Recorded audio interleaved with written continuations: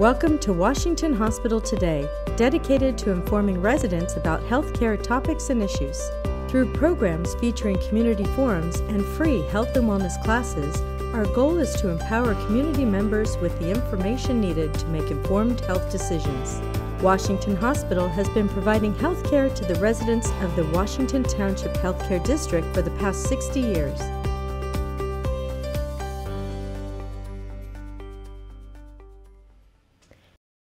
Hello and welcome. Today's presentation, Chronic Pelvic Pain in Women, is presented by Health Specialists. Our first presenter is Dr. Jenny Tran. Dr. Tran is a board certified obstetrician and gynecologist with Washington Township Medical Foundation. Without further ado, please welcome Dr. Jenny Tran. Hi, thanks for tuning in. I'm Dr. Tran, and we're talking about chronic pelvic pain. It's a subject that affects many women um, and not uh, uh, discussed often, mainly due to the discomfort of the topic. And as an OBGYN, sometimes it's a difficult topic to address, uh, mainly due to the complexity of the symptoms and treatments. So what is chronic pelvic pain? It's pain originating in the pelvic organs and the structures, typically lasting more than six months. Um, it's associated with some negative feelings and reactions, usually cognitive, behavioral, sexual, or even emotional consequences. Symptoms are usually suggestive in the lower urinary tract um, area, um, sexual organs, bowel, um, pelvic floor, myofascial or musculoskeletal, and the, and the gynecological dysfunction. Acute pelvic pain, uh, the, so chronic pelvic pain is different from acute pelvic pain. Acute pelvic pain you can think of was why, why most patients would come see us in OB, as OB-GYN. It's mainly for something, a pain that arises from an inflammatory, infectious, or an, an, a traumatic injury. Uh, for an example, that uh, over time can resolve with treatment repair. Um, an example would be an ovarian cyst that grows and causes pain and ruptured, or even uterine fibroids that led, led patients to have uh, um, abnormal bleeding, dysfunctional pain, um, and that also may be reason why she comes in to see us, um, but then leads to a, a chronic pelvic pain. But that's the difference in acute and chronic. Chronic pain is something that lasts for a long time. It's been going on for quite a while. So chronic pelvic pain um, is something that condition that can lead to chronic stress, mainly due to the physical and psychological consequences um, the prolonged activity restriction due to the pain um, leads to physical deconditioning, and then the fear, anxiety, and anticipation of that pain, uh, wanting to prevent that pain from coming, leads to mood and social isolation. And in studies, some studies have shown that about 10% or more than 10% of the patient with the chronic pelvic pain has some sort of major depression. Um, the other thing about chronic pelvic pain that a lot of patients don't know is that in about 25% of, of uh, unless it's acute pelvic pain that we usually see for chronic pelvic pain, majority of that issue uh, pain is coming from non-gynecological causes, and only about 25% is really from the female reproductive system. The other, maybe 60%. So how does it really, how does it start and how does it continue? And the idea is that you have a pain stimuli that started off and then this pain stimuli is feedback to the brain and the brain is now sensing this pain sensation and it continues.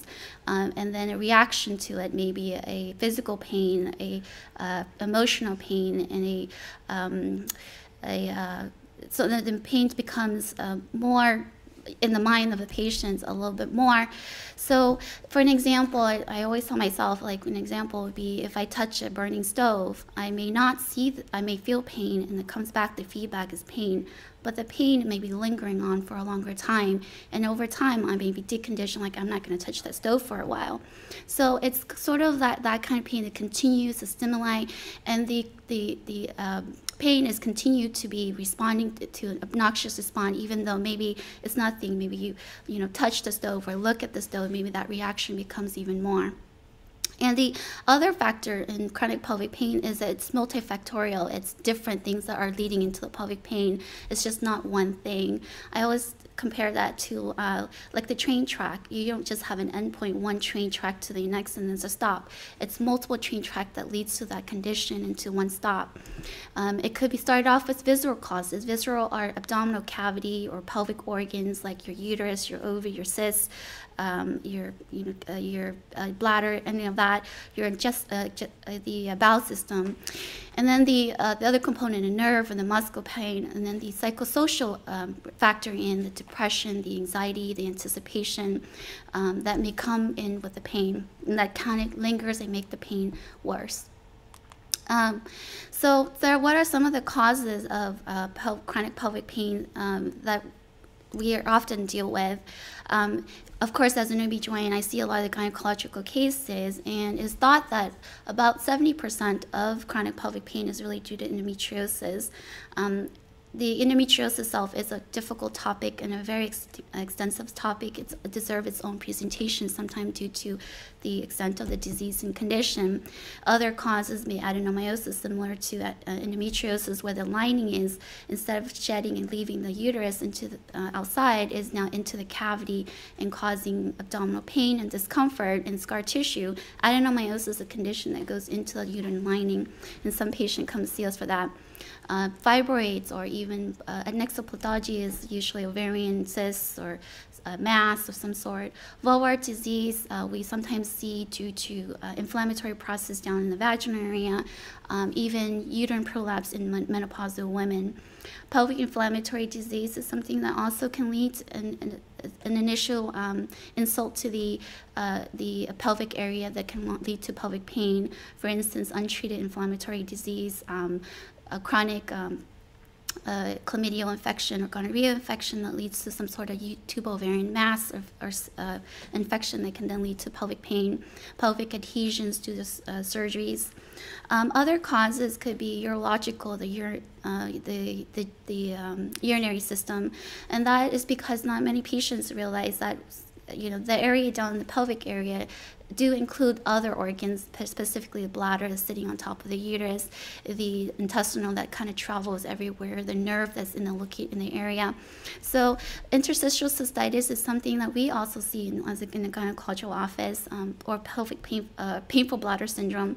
Um, is recently, I think, in the last few months or even year, actually in the last few years, and but more so in the last few months, um, I've been seeing more and more patients in our office. I think because the diagnosis is now more known, but this condition is the painful bladder syndrome is something we see often associated with urinary symptoms. The patient comes in with a, a pelvic pain and also uh, urinary um, urinary symptoms, and then um, that's where we start the workup on.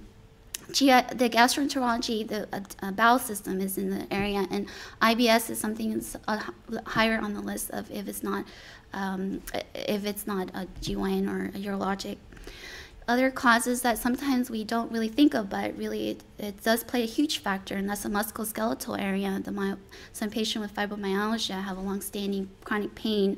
The, the pelvic pain may not be as bad, but the overall pain that she's been undergoing may have made this chronic pelvic pain even more. Pelvic floor muscle tenderness. Some patients have, uh, for example, birth trauma um, that may cause and induce a, a, a reaction, a pain we repaired, um, for instance, the laceration, and it's been she's repaired, she's healed, but the pelvic floor still feels the pain. There's some sensation nerve that may not be there back, and she still continue to have pain. But um, the other psychosocial um, component, I think, has played such a huge factor in pelvic pain, chronic pelvic pain, and the lingering of the symptoms. Um, a huge topic in is abuse, even either emotional, physical abuse, and a lot of that is just longstanding, maybe PTSD that she may have. And again, the example would be childbirth or even sexual abuse that may kind of make that pain the lingering pain. Again, maybe an initial in, uh, pain or comes from just an ovarian cyst rupture, but she may feel pain, and that pain has now triggered an emotional response to that pain and a lingering pain, maybe a PTSD in the past of some sort of condition. So um, there, uh, workup um, in terms of when the patient comes see us um, i like to get a detailed i like to know the person i like to know her medical history her surgical history her gyn history any um, her menstrual cycle you know when menarche, uh, when did she start her period how her pain associated her period. Um, the history also not just includes the symptoms but uh, i um, when a patient comes in, I love it that she would she has a uh, a, um, a written out uh, diary of I would call it a book or um, of symptoms that she's been going to. It kind of tells me the patient's been keeping track of this um, symptoms that she's been going, how long it's been going. I call it the how and what. How did the symptoms start? What it did? Uh, what happened? Or um, how long has it been going on? Um, so those are kind of things I want to know when the patient comes in and get the workup. Treatments she has had, has she had like has she taken Tylenol or Motrin? Has she taken uh, other pain medication? Has she had surgery? And the association of pelvic pain um, with other symptoms. Is there anything related to just menstrual cycle, back pain, hip pain, any other bladder pain, for instance? The physical exam component is um, where we do our part in examining the abdominal cavity and the pelvic uh, exam, speculum exam to look into the vaginal area. And also part of that, we can sometimes do the musculoskeletal uh, the um, muscle uh, and skeletal uh, uh, examination to see if there is radiation of pain to her back or to her hip. Um, one thing I do notice is a lot of older patient, for instance, who have chronic pelvic pain, sometimes it's really just musculoskeletal pain. I have a patient that come in, um, a few patients that's recently come in, where she has for sure know that thought it was just pelvic pain, really concerned about ovs wanted workup. Turns out workup was negative, but the pain was a radiation of uh, in either both of the patients I've seen were just from hip pain and also from um, ligament um, inguinal hernia. So other workup we do is sometimes infectious workup, sexually transmitted infection, long-standing um, infection in the uterus. We can obtain from the endometrial biopsy to rule out other causes. Um, but um, uh, polyps or benign growth in the uterine lining, um, inf chronic inflammation we can sometimes uh, obtain as a workup from doing the biopsy. Imaging study, we do pelvic ultrasound, um, and I think that's our mainstay in the office is that we do a lot of ultrasound to kind of assess and take a quick look at the uterine, uh, the uterus and the ovaries, and sort of like kind of rule the major things that would cause uh, pelvic pain, which a lot of women come and see us for, ovarian cysts or fibroids, for instance. Diagnostic laparoscopy is something we do to diagnose um, endometriosis, and also um, it's something that we don't do often, but we discuss with um, patients. Um, surveying other causes that are uh, that may lead to the chronic pelvic pain she may have fallen and hurt herself and then lead to this pelvic pain that seems to be related to her female part but not necessarily due to the gynecological part. Um, and then if we suspect other symptoms that are associated with the pain, then for instance, the bladder, painful bladder syndrome, we send the referral patient to see a urologist. If it's IBS, we see send patient to a gastroenterologist. Um, an example, I had a patient that came to see me. She said, I have this pelvic pain. I'm going to see my GI doctor, but I really want to make sure it's my female part that's not. So I worked her up, and she's been going through this pain for a whole year. Um, so in terms of pelvic, the pain she was having was truly almost like felt like it was really a female related organ uh, pain. Thought it was her uh, uterus, fibroid, and whatnot. Turns out it was nothing but more than. So she went to see a GI doctor, and it was IBS. So these things we do want you see other, you know, we if we suspect and see um, uh, we suspect other condition, we do recommend you tell us the associated symptoms so that we can refer to the right uh, specialty, uh, specialist. Mental health, in terms of mental health, this is important. Um, uh, referral for some patients who have been going through a lot of long-term chronic pelvic pain. Sometimes the the emotional component, the the um, has been playing to factor that lingers this pain long. Maybe the pelvic pain has been minimized in terms of treatment already, but she is now having that linger pain again, the PTSD or the feeling, the emotional lingering. Sometimes seeing a psychiatrist to understand that her reaction is normal, but maybe now let's work on getting that reaction um, minimized a little bit, and maybe that will improve her longstanding pelvic pain. So treatment options, chronic pelvic pain, as you can see, is multifactorial. It's just not one one step approach. It's multiple things. We have to look at the big pictures, work it up, and rule it out kind of condition. The other thing is the acknowledgement of the condition. Some patients just feel that they're not listened or heard. And having a patient um, come in um, just to tell us, hey, I do have pelvic pain, let's talk about it. Our visits are really short, but patients have to understand sometimes visit you know these uh, chronic pelvic pain you've been going through a long term this pain for a long time and the condition's been going on affecting you some patients feel they're not listened to but once you bring that topic up and we keep bringing that topic up maybe then we'll start working up more but I always help patient be proactive and bring that topic up. Sometimes it doesn't just mean one visit, it could mean multiple visits to find the solution. Referral to see other specialists. Um, and pelvic floor um, therapy, which you'll hear about a little later, um, is also a modality treatment. Sex therapy is more of like for patients who have pelvic pain that leads to um, this uh, uh, pain with intercourse, and sometimes it's also just the surrounding issue. Maybe their partner is not understanding. Maybe they do need to see a couple counseling to for the partner to understand that she is going through a pelvic pain, and it's not just in her head, not because she doesn't want to do it, maybe because she she does really have an underlying condition that needs to be looked at and be um, more sympathetic of, and also to help the partner understand that she is to, to what she, they can do to help the patient, um, you know, feel better and be more um, into doing, you know, wanting to do it more. Cognitive behavioral therapy is to kind of like the mind body is that if we could help you if the patient can be able to learn to do relaxation to do uh, treatment to sort of like figure what triggers and what not triggers and and, and try to avoid that or try to um, um, uh, uh, approach that behavioral differently, then maybe her pain won't be as bad. The other treatment modalities are um, just this is just an expansive list, but and just a brief overview is like to talk about pain. We do some, sometimes chronic pelvic pain is requires um, more than just us as GYN. We do see we do prescribe Motrin or NSAIDs, we recommend Tylenol, but pain maybe there are other pain medication or pain, um, treatments will require that you may need to see a pain specialist. So we referred patients to the specialist. Uh, neuropathic medication.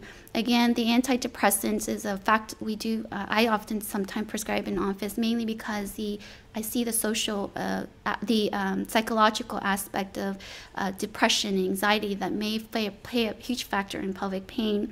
Um, an example, perfect example, is recently a patient saw me. She has endometriosis and she has been treated, but she's been doing better with pain.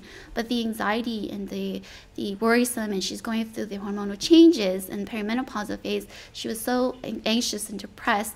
Um, and we worked it up. I mean, I talked to her and, you know, tried a little maybe a low dose antidepressant. For her, after uh, after follow up, she has felt much better, felt more improved. Her mood has changed. She has taken the pain differently. She feels better. Um, muscle relaxants um, are, is also something we also sometimes prescribe. Procedure treatments, trigger points injection, Botox injection for um, overactive bladder, for instance, ablation, which is a surgical procedure. Um, as a DO, I'm very into the alternative treatments as well. I think exercise has this role in um, pain, musculoskeletal pain, yoga, exercise, tai chi, relaxation, massage. Who doesn't deserve a massage? Um, and osteopathic um, manipulative techniques as a DO. I don't do them, but a lot of my colleagues do, and to treat the musculoskeletal pain associated with the chronic pelvic pain. I find a huge role in acupuncture. Some patients do well with just acupuncture um, in terms of other, uh, with, uh, in conjunction with the medical treatment.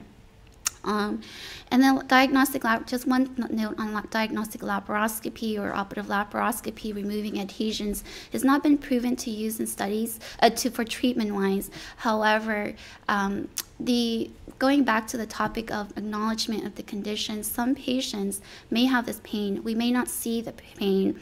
Um, you know, as a physician, I don't see the pain. Sometimes I know the pain, I hear about it, but the patient wants to know, does she really have endometriosis, for example? Does she have scar tissue that's causing that pain? And sometimes just finding out using doing diagnostic laparoscopy, patient may feel better knowing that she has a condition, yes or no, and move on and move forward to the treatment.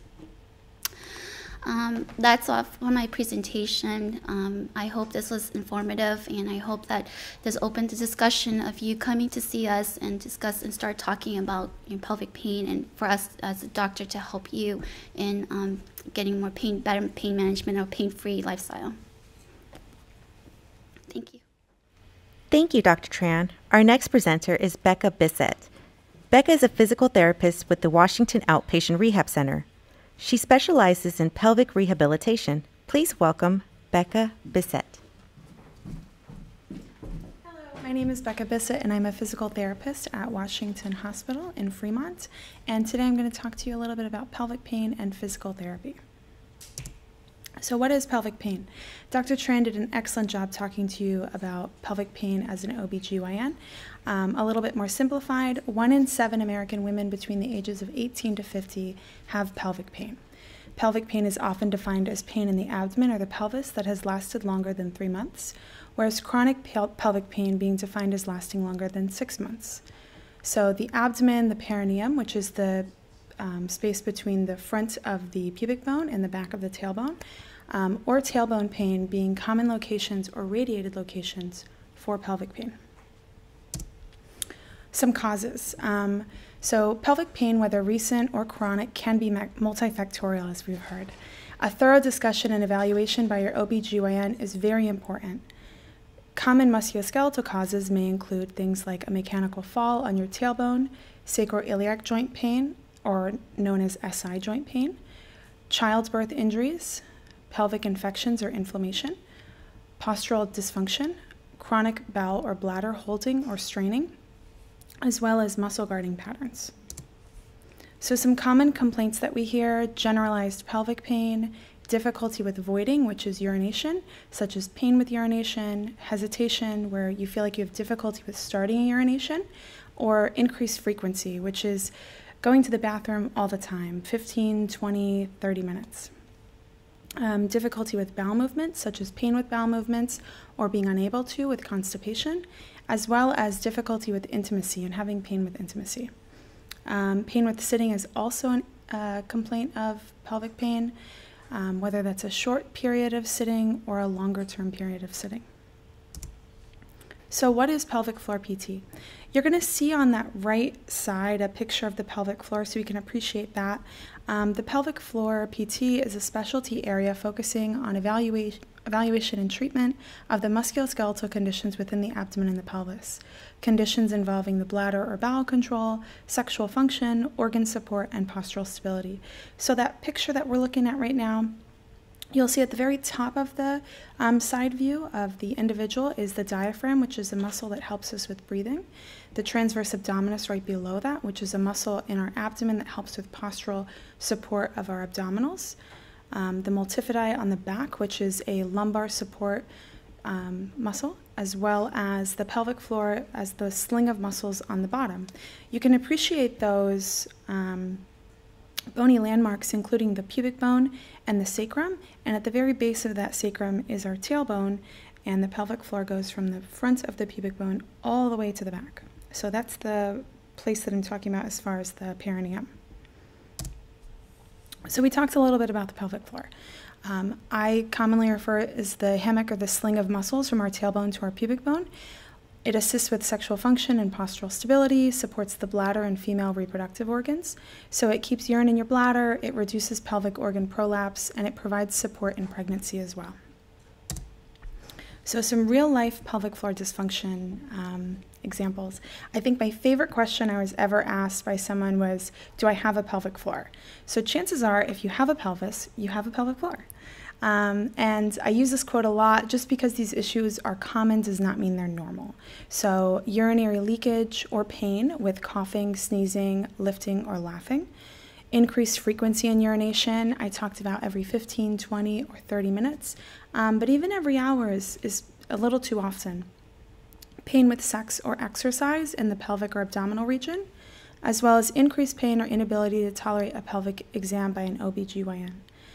Difficulty or pain during urination or bowel movements is also a good indicator.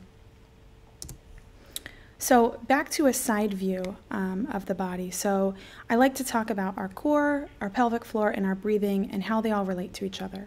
So, in an evaluation, I like to look at um, how people are breathing, like that breathing muscle with the diaphragm. So, I like to see how that's moving.